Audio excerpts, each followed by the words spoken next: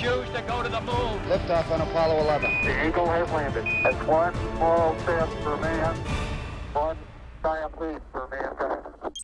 I'm David Kerley at the Smithsonian Air and Space Museum, where we are marking 50 years since the landing of man on the moon.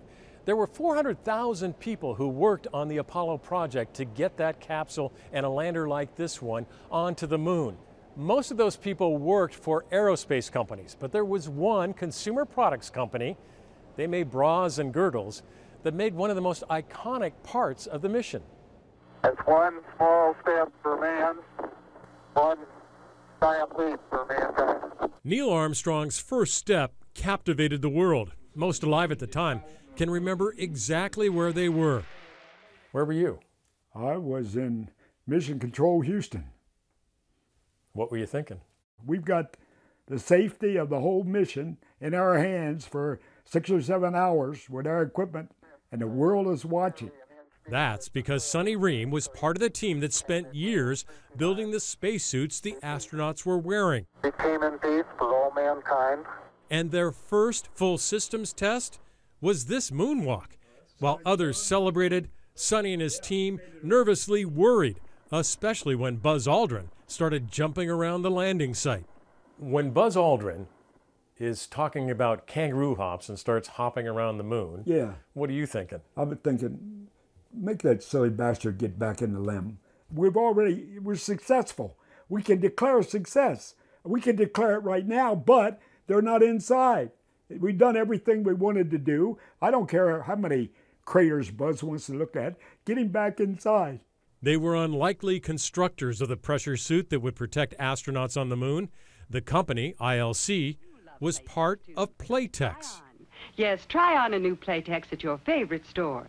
This is a company that basically was making women's Yeah. undergarments. Yeah, they're making girdles and bras and, and industrial gloves, Expandable fabrics, things that could give a little bit. stretch in one direction and not the other. And their background for the basic fabric of a spacesuit was there in Playtex. They had the technology. In an effort to try and secure federal contracts, a couple of the engineers on the team, enthused about space, decided to make a play for the contract to build the spacesuits.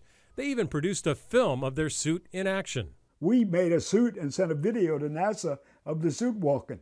When they saw that, they go, I don't know who did this, but this is what we this is the suit we want.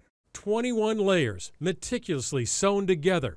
They even helped create fabrics, the outside layer, Teflon, and a type of glass to protect from micrometeorites. Even the overboots, which left those footprints on the moon, were their design. By golly, that's what you see on all the pictures of those tracks on the moon.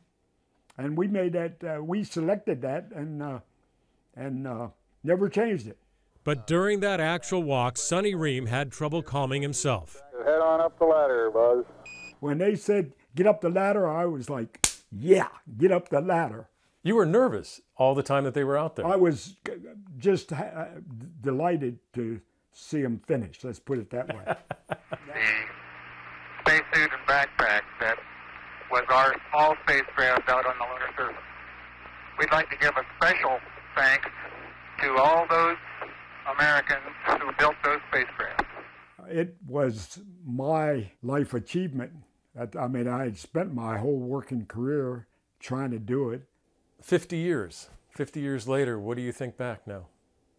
I think it was a uh, great accomplishment by some people from a consumer products company that wouldn't say no. They had a goal and they were insistent on doing it, and they did it. Sonny Reihm, one of those who made the walk on the moon possible. More on 50 years after the landing on the moon coming up on ABC News Live. I'm David Kerley.